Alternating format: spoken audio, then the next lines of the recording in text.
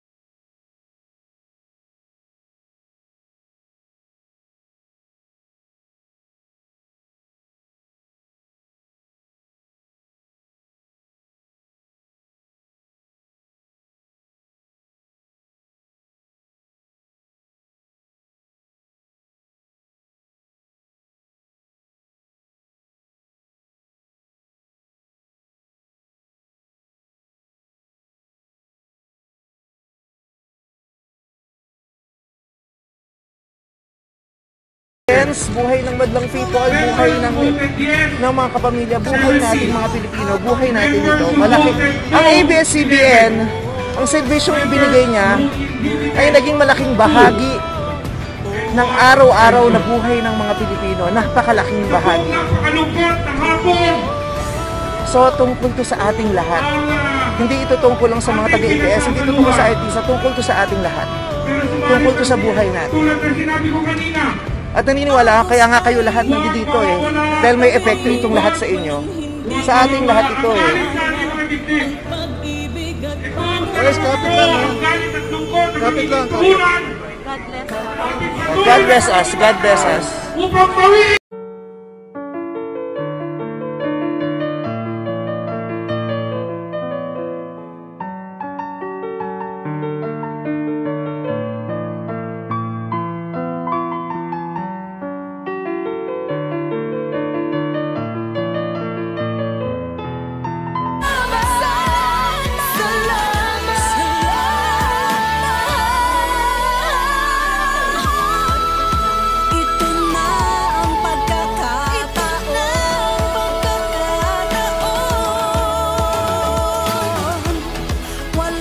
gabi Sa gitna ng bagyo.